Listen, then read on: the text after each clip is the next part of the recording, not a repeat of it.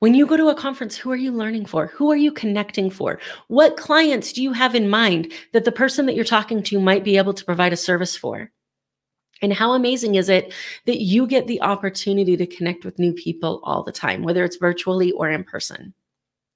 Guys, you have the ability to design the life that you've always wanted, and you owe it to yourself to get out of your comfort zone and live it. And such a huge part of that is surrounding yourself with people who allow you to continue to grow because they support you instead of holding you back.